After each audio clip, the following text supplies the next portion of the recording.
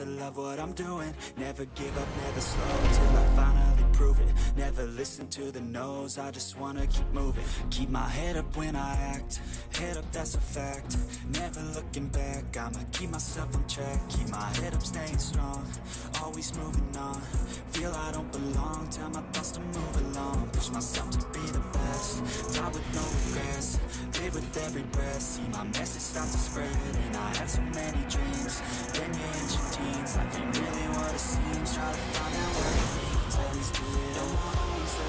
Jo, meine Freunde, und herzliches Willkommen hier zu unserer ja, Road to F1 2021 oder zu unserer F1 Zeitreise. Und zwar sind wir heute im Jahr 2014 angekommen. Ein, ein als Alonso-Fan natürlich herzzerreißendes Jahr, weil das war das letzte Jahr, wo Alonso bei Ferrari gefahren ist und auch im Game.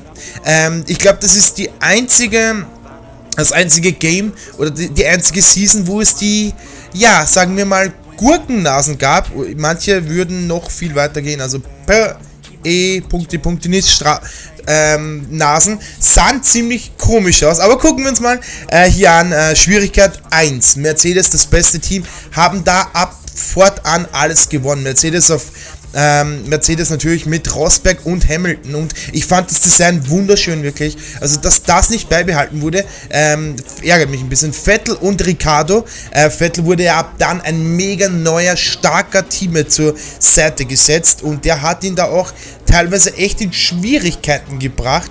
Ähm, Alonso und Massa, äh, Alonso und Kimi schon damals äh, und 96 Podien und 32 Siege. Also dieser Mann weiß, wie Racing geht. Williams mit Massa und Bottas schon. Also da, da wurde Bottas schon. Ich glaube, das war auch das einzige Team, wo, wo, mit, äh, wo Williams ein Aufflackern hatte, weil ich glaube, da gab es auch die Pole Position für Williams in 1 und 2 in Österreich zum Beispiel und ja, das natürlich einfach ein Traum.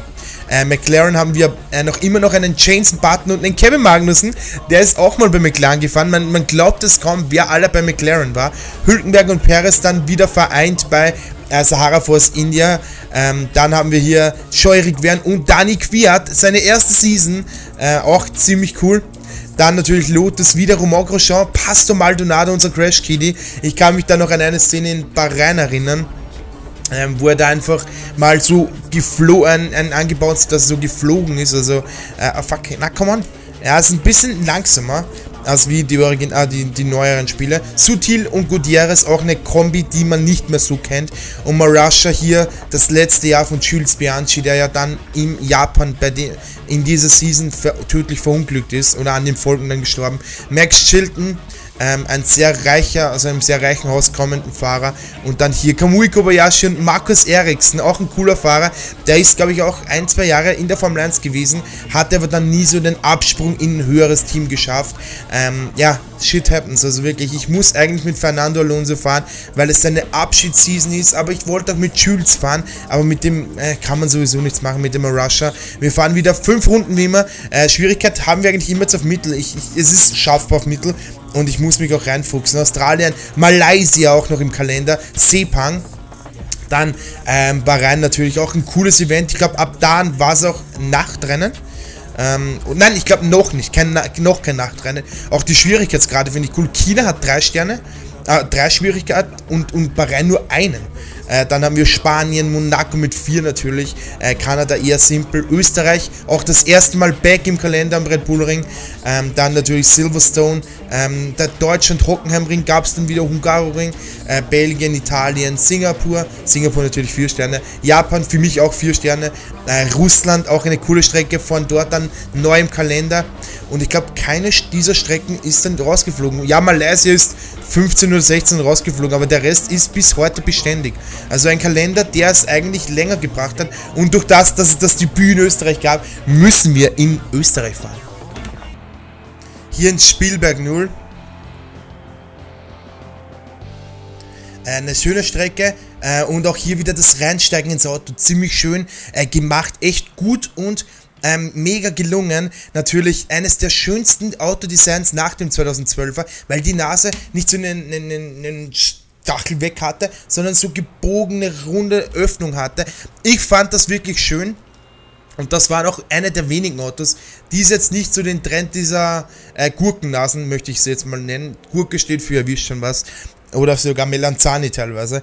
Ähm, aber trotzdem, ja, einfach eine coole Season, ein cooles Jahr. Und auch da warst du als Formel 1-Fan noch nicht so gewappnet. Oder da wusstest du natürlich noch nicht, dass es dann in so eine Mercedes-Dominanz geht, um das Ganze ja, mal zu verschönern.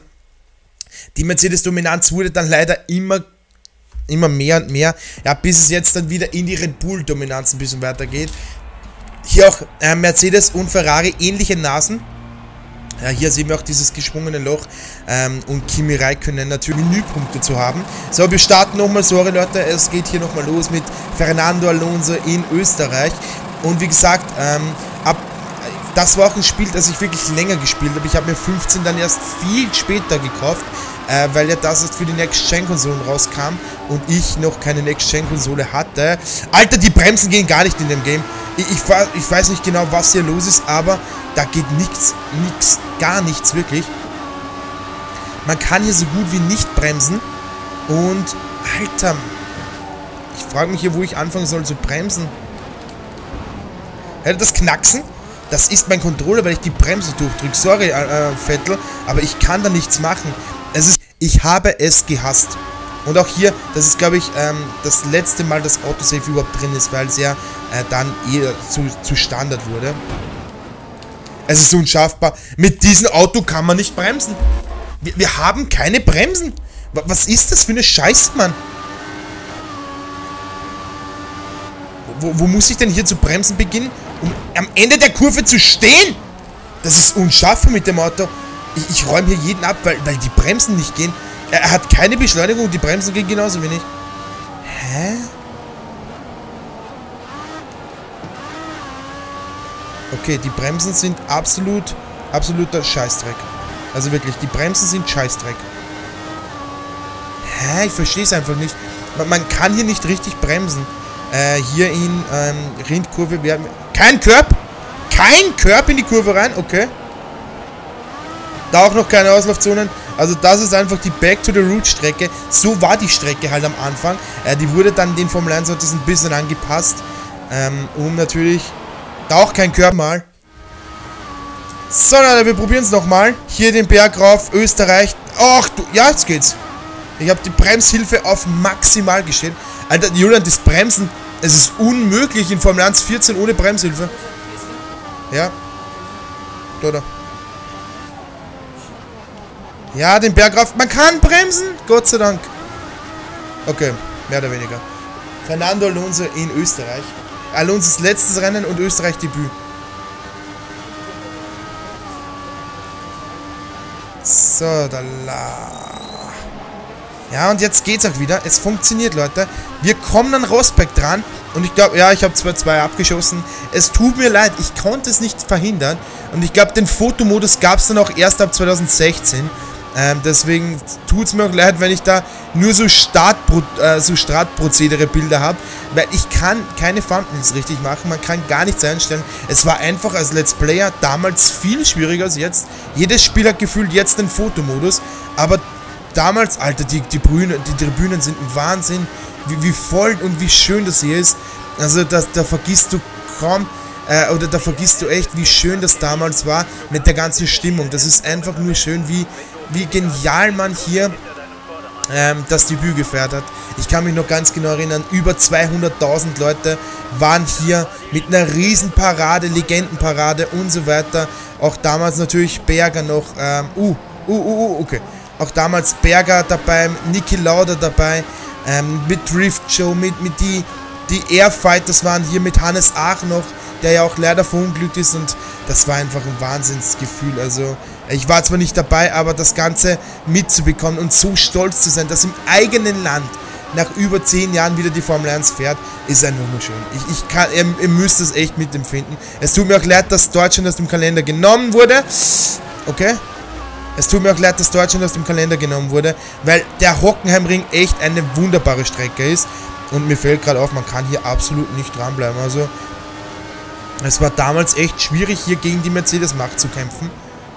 Ähm, Alter, Rosberg, der ist so verdammt schnell.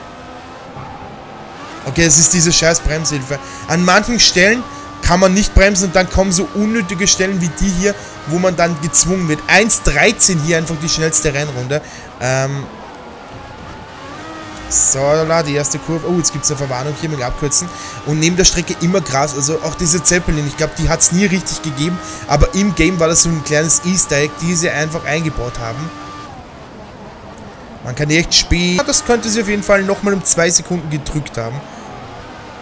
Okay, ja, guckt euch das mal an. Wie man jetzt hier aus der ersten Kurve rauskommt. Windschatten an Rosberg dran. Oh, bitte, bitte, bitte, bitte. Lass es funktionieren in der ersten Kurve, in der oberen Kurve, in Kurve Nummer 2 damals noch. Ja, ja, ja, ja, ja, ja, es geht, es geht, es geht, es geht. Aber Rosberg, nein, Rosberg ist weg. So, wir haben es geschafft. DS bekommen wir auch noch, weil wir so spät neben ihm vorbeigefahren sind. Und Hamilton, natürlich auch sinnbildlich für, für seine Dominanz, ähm, fährt er uns hier einfach mal auf dem ersten Platz davon.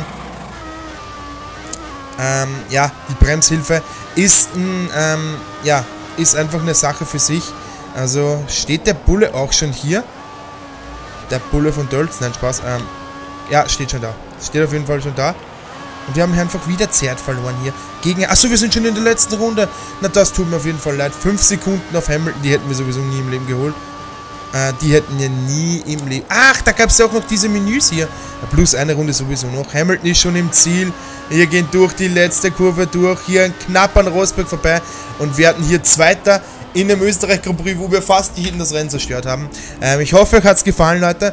Das war unsere Zeitreise auf PS, auf PS3. Ab morgen müssen wir dann wirklich auf die Xbox switchen. Wie gesagt, Damals war es für mich noch ähm, fast undenkbar, auf diese neuen Next-Gen-Konsolen zu wechseln.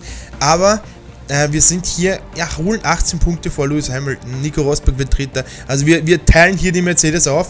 Äh, Teamkollege wird Vierter. Also Mercedes, Ferrari, Mercedes, Ferrari. Und Ricardo dann auch auf 5. Ich hoffe, euch hat es gefallen, Leute. Die Zeitreise auf der PS3. Mein Ranking jetzt mal für die alle PS3-Spieler. Ich würde sagen, das beste PS3-Game für mich ist immer noch Formel 1 2012. Es ist sehr schön, gut zu fahren und einfach Nostalgie pur. Dann würde ich mal... Ähm, das, ähm, 3, äh, das 14er nehmen. Das 14er, ein gutes Handling, wenn man noch ein paar Mal, wenn man da wieder rein sich, wenn man sich da wieder reinfuchst, kann man es auf jeden Fall schaffen. Ähm, auch, denke ich mal, mit der Bremse zurechtzukommen. Ich, ich habe das Spiel gefeiert, habe das fast zwei Jahre lang durchgehend gezockt ähm, und natürlich mein Lieblingsfahrer Fernando Alonso. Auch die Season Challenge, mit dem ich mit YouTube begonnen habe, hat auch hier seinen, ähm, seinen Ursprung in Formel 1 2000 äh, 14. Also ähm, dann wie gesagt Formel 1 12, 14, dann würde ich sagen 10, weil es für mich auch einen, einen ideellen Wert hat. Das Spiel ist einfach genial. Ich habe das, das zweite Spiel, was ich jemals besessen habe und ähm, ich bin das echt auf und ab gefahren und habe so gefeiert, wie ich in Japan Weltmeister geworden bin. Äh, ich glaube damals noch auf Leicht und auf so einen uralten, fetten Röhrenfernseher äh, mit zerkratzten Bildschirm. Wirklich, ich habe so gefeiert. 12 Uhr war es und damals konnte man ja Spiele noch ewig spielen. Äh, war mindestens schon 12 Uhr und es war einfach so ein geiles Gefühl, äh, das erste Mal in einem Game Weltmeister zu werden. Ähm, und das habe ich echt gefeiert. Ja, wie gesagt, ähm, also 12, 14, 10 dann kommt für mich 13 und natürlich 11 ganz unten. Ich finde auch das, das Handling von 11 nicht so besonders schön. Auch wenn ich es nie spielen konnte hier leider. Also wie gesagt, schaltet morgen gerne ein, wenn wir in Formel 1 2015 losstarten. Für mich das schlechteste Game aller Zeiten und das schlechteste Game der Xbox-Ära. Also seid gespannt. Bis dahin, danke fürs Zugucken und